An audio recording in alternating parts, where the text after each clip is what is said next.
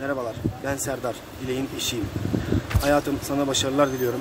Daha bilezikleri alacaksın, koluna takacaksın. Sana çok güveniyorum. Tuttuğunu koparan bir insansın. Evliliğimiz süresince e, annem sürekli bizim yanımızdaydı, sürekli bize destek oldu. Annemin soğuk ve ilgisiz olduğunu söyleyenler yanlış yapıyor. E, kayınvalidem için de söyleyeceklerim daha iyi olabilirdi, daha iyi davranabilirdi. Adana'daki düğünümüz süresince bana destek olan, tek desteği olan kişi e, eşimin ailesinden, eşimin küçük abisi. Kendisine buradan çok teşekkür ediyorum. Diğer yarışmacı arkadaşlara da e, eşim oradayken biraz daha dikkatli olmalarını, ondan korkmalarını e, tavsiye ediyorum. Eşim tuttuğunu koparan çok hırslı bir insandır. E, hayatım seni çok seviyorum. Kendinize iyi bakın, iyi yayınlar. Ne dedi? Annem dedi ilişkimizin başından beri bize destekçiydi dedi. Sen de diyorsun ki hiç destekçi olmadı, hep soğuk davrandı. Eşim burada seni sanki birazcık senin söylediklerin doğru olmadığını iddia ediyor gibi geldi bana. Annesidir tabii ki annesine hak verecek. Ne yapsın? Bir programa çıkmış adam. Yani annesini mi eleştirsin? Annesinden mi dem vursun? E, Eşinden kızı. bir darbe yedin, görümcenden yedin. Kayınvalidenin kız kardeşiydi. Kayınvaliden de ona dedi ki Dilek bence sen aradın söylettin. Ama ben hala söylediklerimde iddia ediyorum ki kayınvalidem ilgisiz. Bana karşı ilgisiz, çocuğuma karşı ilgisiz. Çocuğuna Öyle da. diyorsun da dışarıda sarmaş dolarsın. Evet, evet. Oynuyorsun. Kızlar. Sen tribünlere Ben- oynuyorsun. Sizden yorum alayım. Soğukluk var demiştim. Ben. Soğukluk var demiştim. Ee, bunu sürekli vurgulayan, sürekli belli eden bir insan değilim. Ee, düğün zamanlarında hep gerçekten yanlarındaydım. Hani düğünde işte gittik geldik. Ee, bazı sebeplerden dolayı soğuk olduğumu da söylemiştim. Isınamıyorum.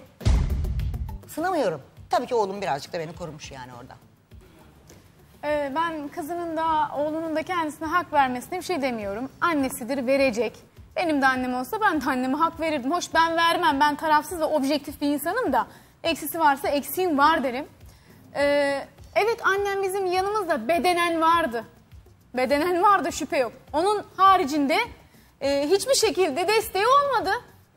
Olmadı. Ben hepsini de tek tek anlattım. Bu bir e, Fatih Bey artı burada şunu duymak istemiyorum.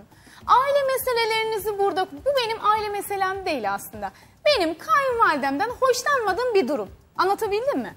Ve ben bunu zaten yüzüne de söylüyorum. Ve ben bu olayı biriktirip biriktirip biriktirip ona tavır almıyorum. Anneciğim sen böyle böylesin. Bu davranışından hoşlanmıyorum diyorum. Bak diyorum ama yine aynı mı? Evet kabul ediyorum. Didişmiyorum kayınvalidemle.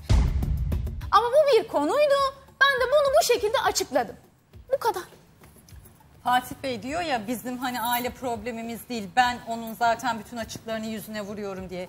Bunu kendi oğlu ve kızı konu kapandıkça ısıtıp ısıtıp önümüze sunan kendileri. E bize ne düşüyor burada tartışmak düşüyor. Ya onlar o kadar alışmışlar ki artık. Ben alışamadım ama bunu sorun haline getirmiyorum Fatih Bey. Dışarıda Ondan mı dile getirdiniz? bir saniye dışarıda başka yerde tavırlarım aynıdır. Anne annemdir. Saygımı göster eşimin annesidir. Saygımı gösteririm. Asla hiçbir saygı konusunda kendisi de söylesin. Doğru Eksiğim söylüyor. yoktur. Ama e, evlatlarına da bir şey diyemiyorum burada. O kadar alışmışlar ki ben alışamadım. Çalışıyorum diyor, çalışıyorum diyor. Ne yapayım diyor. Çalışmasın mı? Ne yapayım? İstanbul gibi bir yerde Ama ben geçinmeyi geçen sağlıyorlar diyor. kızlar siz de şahitsiniz hanımlar. Söyledim. Bunu sen bence büyük sorun haline sen getiriyorsun. Evet Fatih Yani Bey. evet büyük bir sorun haline getiriyorumdur. Çünkü ben ilgiyi seviyorum. Ya da bana gelip gitmesini istiyorum. Ya da çocuğumla ilgilenmesini istiyorum. Fatih Bey Yapmıyor. ilgi sevilmez mi? Yapmıyor. Ya yapmıyorsa yapmıyor O artık. zaman ne konuşuyorsun? Bu artık.